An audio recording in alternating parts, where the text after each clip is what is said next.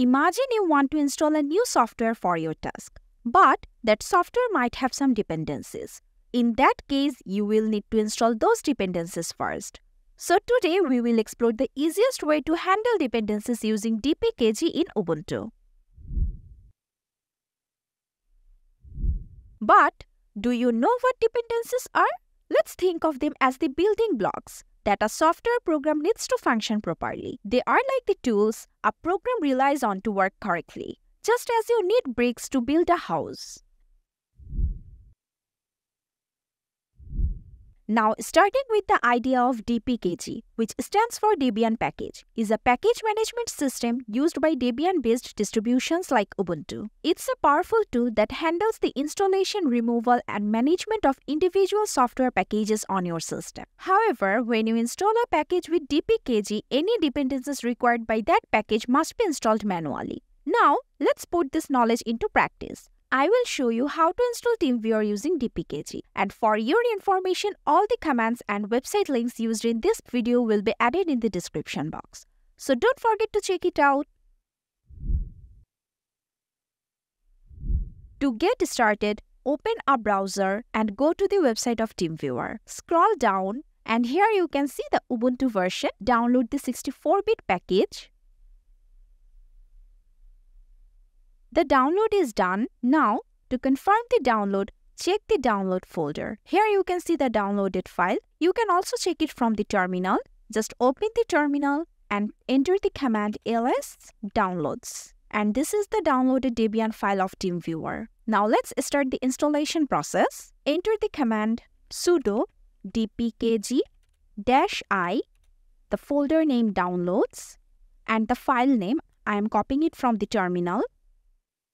Here, you may need to update the TeamViewer version if it gets a new update. Now hit the enter button, providing my password.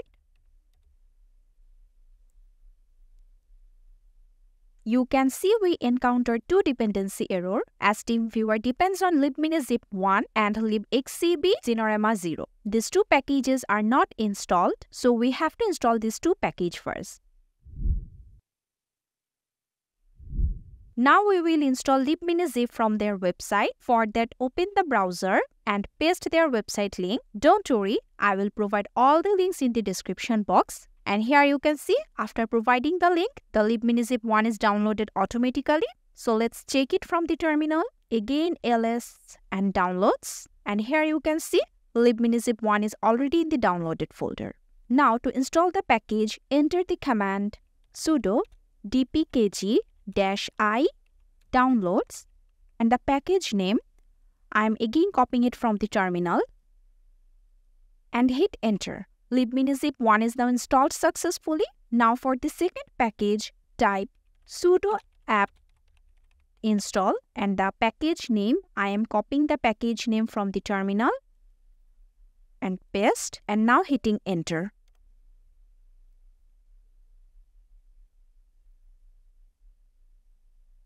So it's also done. Now let's give TeamViewer another try. Run the previous command from the history and hit enter.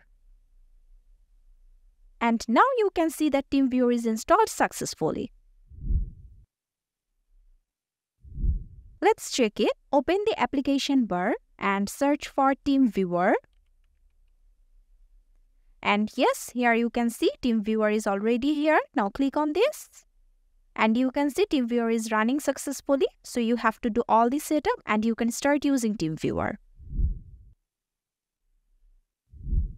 Now let's come to the dependency verification. Sometimes more dependency may arise when installing a dependency. It's called the recursive dependency. It can be challenging to keep track of these packages. DPKG shows different types of status flags that you can use to justify the dependency installation, such as double A status flag for confirming the installation and configuration. The RC status flag indicates that the package is removed but configuration files are still present. Then the UN status flag. It confirms the package is not installed. And finally, the RI status flag that indicates installation is broken and its files have been partially installed, waiting for a reinstallation to fix the issue.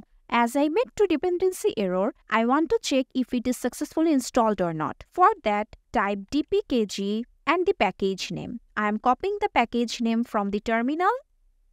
If you face only one dependency error, then you can hit enter now. But as I had two dependency error, I will check all packages with the single command. So space and the second package name which was libxcb 0. Again right click and paste. And now hitting on the enter button and here you can see double status flag for both of these packages which means it is successfully installed and configured.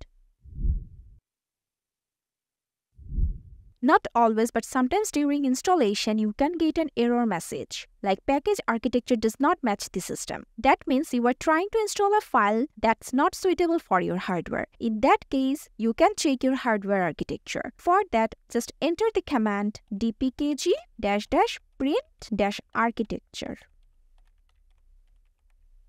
And see, this is my architecture. So I must download the Debian packages that are suitable for AMD 64.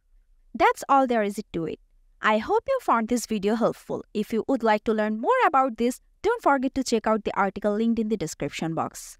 Also, you can check out our YouTube channel for more videos related to Linux. Thanks for watching.